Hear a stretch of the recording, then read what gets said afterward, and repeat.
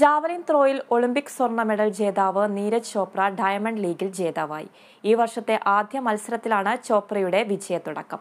പുരുഷ ജാവലിൻ ത്രോയിൽ എൺപത്തിയെട്ട് ദശാംശം ആറ് ഏഴ് മീറ്റർ എറിഞ്ഞിട്ട നീരജ് ഈ സീസണിലെ ലോകത്തെ മികച്ച പ്രകടനവുമായാണ് ദോഹയിൽ തിളങ്ങിയത്. പിന്നീട് മൂന്ന് തവണ കൂടി നീരജിന്റെ ജാവലിൻ എൺപത്തി അഞ്ച് മീറ്റർ മറികടന്നു. ഡയമണ്ട് ലീഗ് അത്ലറ്റിക്സിൽ ഇത് മൂന്നാം തവണയാണ് നീരജ് ജേതാവാകുന്നത്. ജാവലിൻ ലോക ചാമ്പ്യനായ ഗ്രനഡയുടെ ആൻഡേഴ്സൺ പീറ്റേഴ്സ് ഒളിമ്പിക് വെള്ളി മെഡൽ നേടിയ ചെക്ക് റിപ്പബ്ലിക്കിന്റെ യാക്കു വാത്ലജ് എന്നിവരായിരുന്നു നീരജ് ചോപ്രയുടെ പ്രധാന എതിരാളികൾ.